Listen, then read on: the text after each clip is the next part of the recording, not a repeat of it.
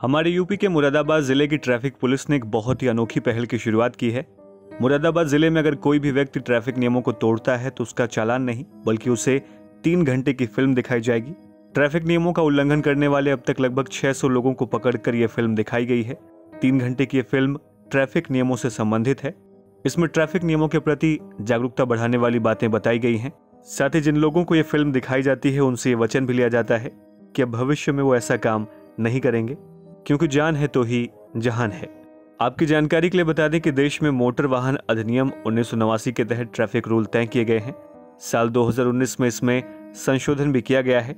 Traffic rule के उल्लंघन के मामले में अमूमन सड़क पर चलते समय यातायात नियमों को न मानने, हेलमेट न पहनने और सीट बेल्ट न बांधने, ड्राइविंग के समय धूम्रपान और शराब का सेवन करने, ट्रैफ़िक लाइट्स और संकेतकों को न मानने, सड़क पर निर्धारित गति का सम्मान न करने और गलत दिशा में ओवरटेक करने और ड्राइविंग के समय वाहनों के बीच अंतर न बनाकर रखने के साथ ही अपने गाड़ी की मरम्मत पर विशेष ध्यान नहीं देना ट्रैफ़िक उल्लंघन के मामलों में अक्सर सामने आता है। आपको हमारी ये जानकारी कैसी लगी? इसके बारे में हमें इस वीडियो के कमेंट बॉक्स में ज़रूर लिखें। साथ ही यूपी जुड़ी और तमाम लेटेस्ट खबरों के अपडेट के लिए देखते रहिए हमारे चैनल बातें यूपी की।